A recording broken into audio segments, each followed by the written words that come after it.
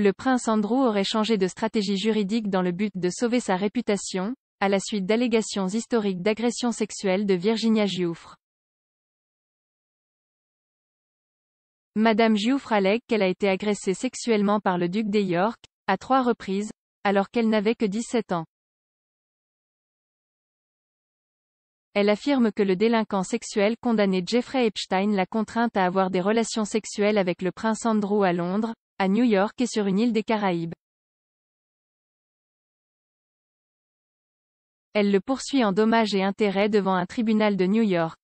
Andrew a fermement nié toutes les allégations portées contre lui.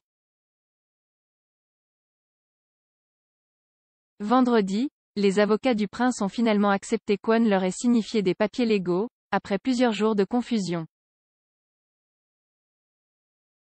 Ils ont jusqu'au 29 octobre pour répondre aux réclamations au nom du prince.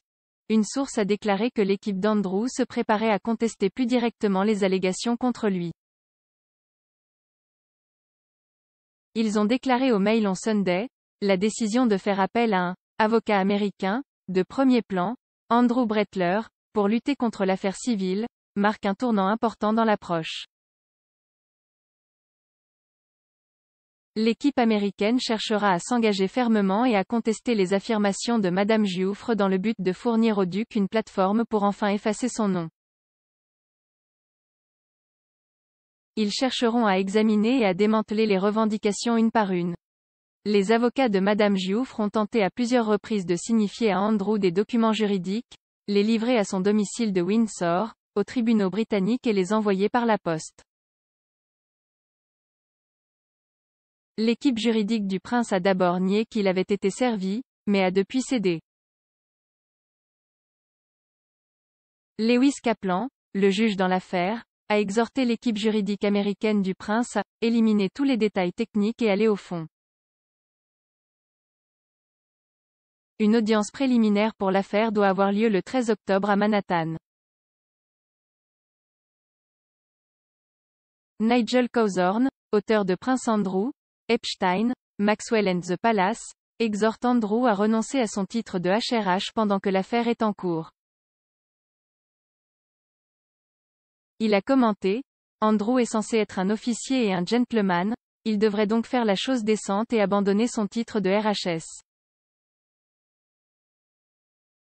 Harry et Meghan ont dû cesser d'utiliser leur statut de RHS et ils n'ont été accusés de rien.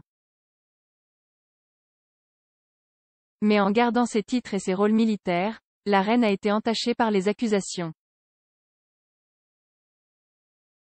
En août 2019, M. Epstein s'est suicidé en attendant son procès pour trafic sexuel. Plus tôt cette semaine, le Daily Mirror a rapporté que Andrew tenait des pourparlers de crise avec son équipe juridique. Une source a déclaré au journal, le plan, si vous pouvez l'appeler un plan, a été chaotique depuis le début. Maintenant, tout est arrivé à un point critique. Il est extrêmement inquiet et les pourparlers de crise sont pour qu'il puisse reculer. Il sait qu'il est en pleine crise. Les dommages causés à sa réputation sont visibles, mais maintenant il ressent la pression de sa famille, bien qu'aucun d'entre ne soit directement impliqué. Tout ça est un désastre.